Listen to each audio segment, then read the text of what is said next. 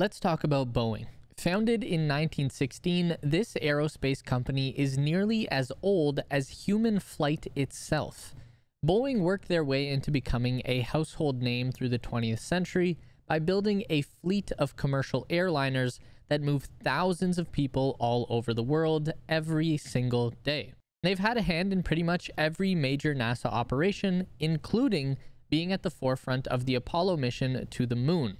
The legacy of this company stands head and shoulders above all others, and that's left us scratching our heads and wondering just how this former giant has become the lame duck in the new generation of space exploration. This is the space race. So the Boeing Starliner doesn't get talked about very much in the space nerd community, and that's probably because we're all so obsessed with that other space vehicle with the word star in its name, and rightfully so.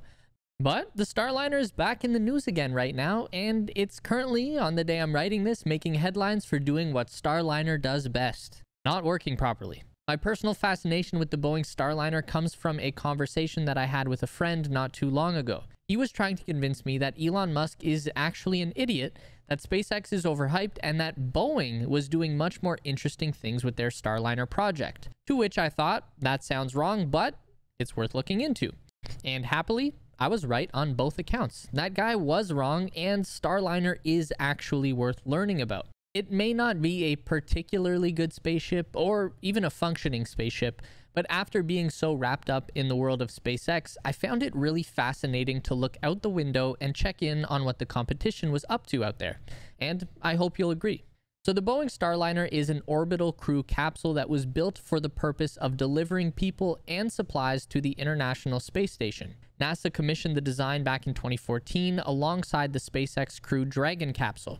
NASA wanted both companies to build them new options for getting astronauts to and from space. The United States space program had been forced to hitch rides into orbit with the Russians for the better part of a decade, and it was starting to get a little awkward. With a fancy name like Starliner, you might picture a big, sleek 21st century vehicle like the Starship or the New Glenn, but the Starliner is literally just a capsule. So imagine you're looking at the whole launch vehicle on the pad. Boeing just made the hat. The booster that Starliner is sitting on is the United Launch Alliance Atlas V rocket in its N22 configuration.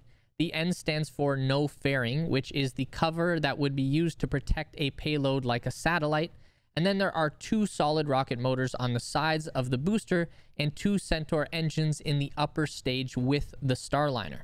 So the Atlas V booster is not fully designed by Boeing. They had to partner with Lockheed Martin Space to form the joint venture, ULA, and neither of them actually make the engines that power the whole thing. The main thrust for the Atlas V comes from a Russian-made RD-180 engine that burns kerosene and liquid oxygen. The two strap-on boosters are the AJ-60A made by American company Aerojet Rocketdyne, who also make the upper stage Centaur engines. Those are RL-10s that burn cryogenic liquid hydrogen and liquid oxygen. As you may have noticed, this thing is like a cornucopia of aerospace technology. No part of the Atlas V is reusable, so it's very expensive to fly, about double the cost of SpaceX's Falcon 9, which has a self-landing and fully reusable first stage. ULA are hoping to upgrade this within the next year to their next generation Vulcan Centaur rocket booster, which is a badass name for yet another underwhelming rocket. The Vulcan Centaur will be powered by Blue Origin's BE-4 liquid methane engine, which is a really nice upgrade over the old Russian kerosene engine. But unlike the Blue Origin New Glenn that the BE-4 was designed to power, the Vulcan Centaur does not have a compelling plan for reusability. They do have a plan, but it's kind of janky, at least in my opinion. Now, I'm not a rocket scientist, but this sounds kind of whack. The idea is that after the first stage does its thing and gets the payload into space, the booster engines, avionics, and thrust structure would be detached as a module from the propellant tanks. That module would then descend through the atmosphere and deploy an inflatable heat shield for protection. Then a parachute deploys to start slowing down the whole mass so that a helicopter can come along and snatch the module from mid-air and bring it back down. ULA calls this their smart reuse system. I call it trying to catch a rocket booster that just fell from space with a helicopter. But anyway, we're falling off topic here. Let's get back to the main event. So, to ensure maximum safety and provide the future human crews with the largest abort window possible, Starliner takes a very shallow angle on its approach to space. This means that following the first stage separation, the second stage Centaur engines will have to provide an additional burn to reach the desired orbital height, and that's where things started to go very wrong for the maiden voyage of the Starliner back in 2019. The first orbital test launch of an uncrewed Starliner happened in late 2019. The mission was to reach the ISS, drop off some supplies, and then come back home. Pretty simple. For the first 30 minutes of flight, everything was going perfectly. Lots of rich old men started patting each other on the back and exclaiming that they had made a historic spaceflight. In reality, the Starliner had somehow picked up the wrong mission lapse time from the Atlas booster before separation and that led to Starliner's internal clock being off by around 11 hours. It's like if you screw up the AM PM on your alarm, it's going to go off at night instead of in the morning. And in this case, Starliner's thrusters started firing to stabilize the ship during an orbital burn from the main engines that wasn't actually happening yet. The whole ship was supposed to just be coasting up at the time, so that ended up using a ton of fuel that wasn't budgeted for, and NASA had to make the decision that there just wouldn't be enough left to complete the mission. So after floating around aimlessly for a couple days, they brought the Starliner back down. And that brings us to the present day, a full two years later, and the attempted Take Two for Starliner. Boeing spent a year and a half implementing NASA recommendations and ensuring the spacecraft's software works properly with its hardware. NASA even sent their own team to oversee Boeing's work, and they even ran through a full five day virtual simulation of the mission. The Starliner was scheduled for flight test number two on July 30th, 2021, but uh, that didn't happen. And this was no fault for Boeing. Miles overhead at the International Space Station, a Russian vehicle that was docked with the station unexpectedly started firing maneuvering thrusters. This pushed the whole apparatus into a dangerous tilt that nearly became a horrible disaster. We still don't know why that happened, but understandably, it did delay the Starliner mission. It's not unusual for a space launch to be delayed by a few days, so it shouldn't have been a big deal.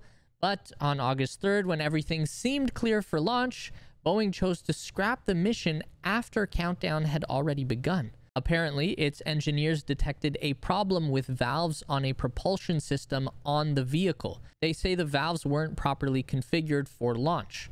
At first, we heard this would only lead to a 24 hour delay and the flight would go ahead on the 4th. But not long after that, Boeing made the decision to postpone the launch indefinitely. So it could be a matter of days, weeks, we don't know. I think it's likely at this point that we'll publish this video before the Starliner flies again. This is all really bad news for Boeing. We started off the video praising them as basically the greatest aerospace company of all time, and rightly so. They are a behemoth of a company, but they've lost their way and they just can't seem to get back on track. The first Starliner flight was supposed to be a comeback show after a failure in the engineering of the 737 MAX aircraft that resulted in two crashes that claimed the lives of hundreds of people. It was a horrible tragedy that really shook public confidence in air travel. Then again, with the test flight number two, after the airline industry has been decimated by the pandemic, this Starliner launch was supposed to show the world that Boeing were real players in the new space race. And it's all been a bit of a disaster. Okay, I actually want to end this video on a high note because, like I said, I really find the Starliner project fascinating. And as underwhelming and flawed as it may be, there actually is some really neat stuff going on under the hood. So, the Starliner may not have racked up nearly as many achievements as the SpaceX Dragon, and the Dragon may have that extremely useful trunk that is bafflingly absent from the Starliner, but there are at least a couple of impressive feats that the Starliner is capable of. Okay, maybe like one and a half, because the first point hasn't been proven in action yet, but in theory, the Starliner will be able to dock itself with the International Space Station, and that is very impressive. If the 2019 launch test hadn't gotten all screwed up, then Starliner would have been the first capsule to dock with the ISS under its own power. Prior to the SpaceX Dragon 2 in 2020, all vehicles that reached the ISS had to be grabbed by the Canadarm and berthed to the station. That's the technical term that they use, berthing. So far, only the Dragon 2 can hook up without the help from the arm, but if Starliner ever makes it up there, then it can do it too. They may not be leading the industry in this regard, but at least they're not falling behind either. One thing that Starliner does that Dragon can't is land on solid ground. It was Elon Musk's original plan that the Dragon would actually do a propulsive landing using the abort engines to catch the capsule on its way down and bring them in for a controlled touchdown. But NASA took a look at his plan and basically said, yeah, no, that's a bit too crazy for us. Let's stick with the good old water landing for this one. Starliner is built to land on the ground using a combination of parachutes and airbags no rockets. It's pretty similar to how the Russian Soyuz capsule operates. It also lands on solid ground, but while the Soyuz drops off astronauts in the middle of the desert in Kazakhstan, the Starliner will come back down over the White Sands military base in New Mexico. And that's a huge advantage over water landings. They don't need big, expensive boats to recover the vehicle or anything like that, and they don't have to worry about the corrosive effects of salt water getting all over their spaceship. Okay, one more thing because we can't talk about Boeing without shouting out these spacesuits. When people fly SpaceX, we all know that they get to look like proper futuristic astronauts with these clean white suits. But when you fly Starliner, you get to look like an inflatable dollar store version of the Blue Power Ranger, and that's worth the price of admission alone. So, like we said off the top, the Starliner may not be amazing, but it's not nothing either. If Boeing could just get their shit together and put the damn thing into space without making some stupid little mistake, then Starliner would be a perfectly fine spaceship. Boeing are definitely in no position to win the race, but they're at least holding their own for now. Obviously, they don't have the engineering prowess of SpaceX, and they don't even have the ambition of Blue Origin, but at least they got their vehicle into orbit even if it did still result in mission failure. That's still more than Jeff Bezos or Richard Branson can say. But honest thoughts on the Starliner and the Boeing space program in the comment section below. Let's hear what you guys think. Also, don't forget to give this video a thumbs up today if you liked it. We're trying to grow this new channel as fast as we can, and every little bit of support you can give means the world to us. Subscribe for weekly content just like this. Hit the notification bell so you don't miss it. Thank you for watching, and I'll see you in the next video.